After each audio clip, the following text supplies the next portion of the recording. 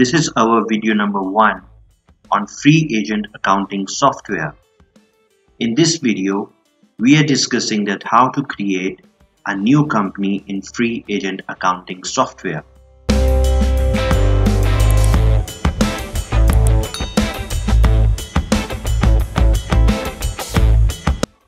FreeAgent is a cloud-based accounting software company based in Edinburgh, Scotland. FreeAgent accounting software is designed for small businesses, freelancers and accountants.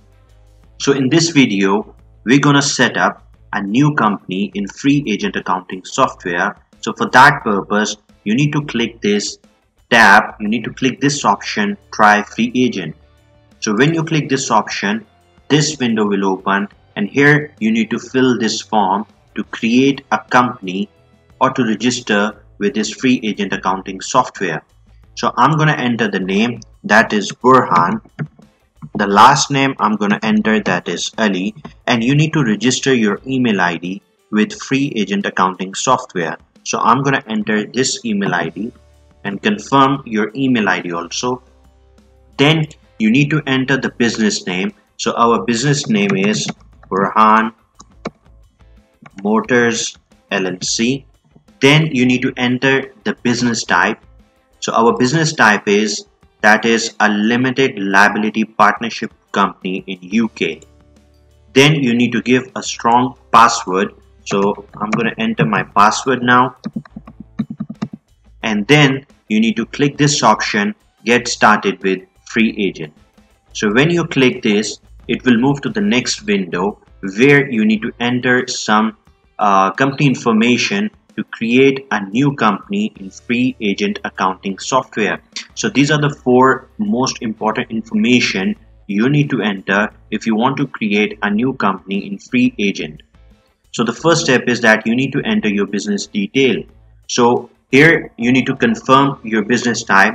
This can't be changed later. So our business type is that is a limited liability partnership company in UK. Then you need to select the business category. So our business category is automotive. Then that is our business name which is Burhan Motors LLC. You need to give your company registration number. So for example, it is 16690. Then you need to mention the business address. So our business address is Eskin Tower office number 503 and that that is located in Blackburn. So you need to select your town that is for example in Blackburn. Region or state I'm gonna select the same Blackburn. You need to give your post or zip code. So I'm gonna enter BB1 1PU and the country that is, is that is United Kingdom.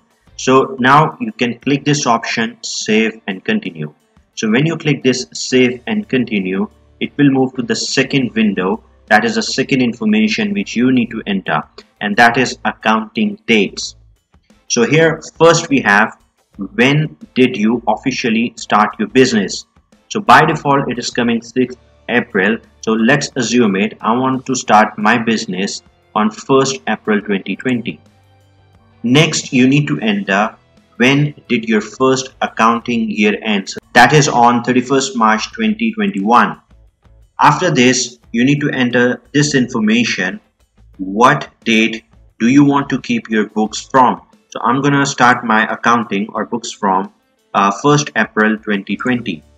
So I enter this accounting date information and then you need to click this option save and continue. So when you click this option it will move to this third information that is VAT details.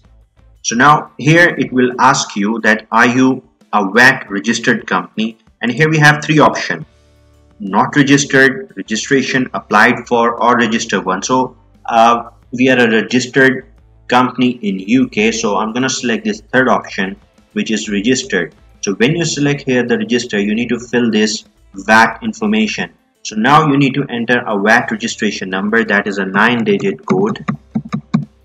Then you need to enter this effective date of VAT registration. So that is on 1st April 2020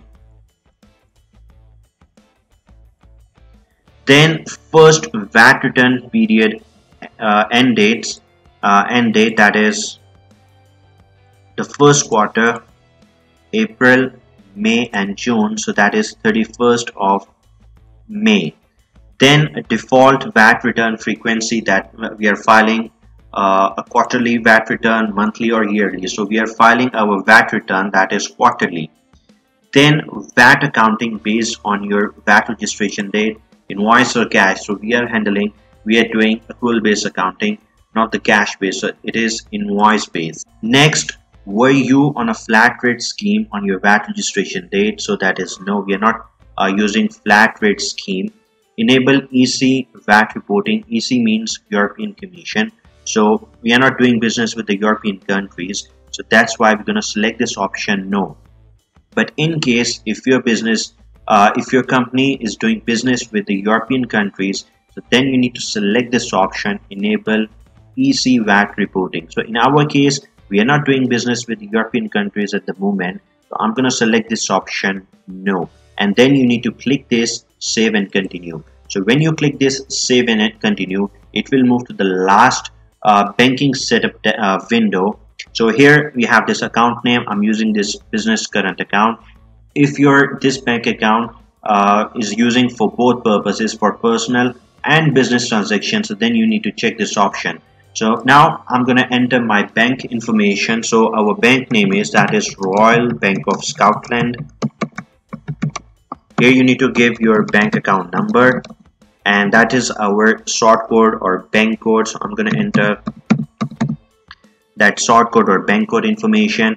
And if there is an opening balance so I'm gonna enter right now. The opening balance is 75 pound and then you need to click this option save and finish so when you click this option save and finish it will move to the last window where uh, the FreeAgent software is asking you that you want to connect your this bank account. So I'm gonna connect this bank account later. So click this. When you click this connect later it will move to the first window or the first page of FreeAgent accounting software. So this is how you can create a company in FreeAgent accounting software if you guys have any question related with this topic you can ask your question in the comment section. We will reply you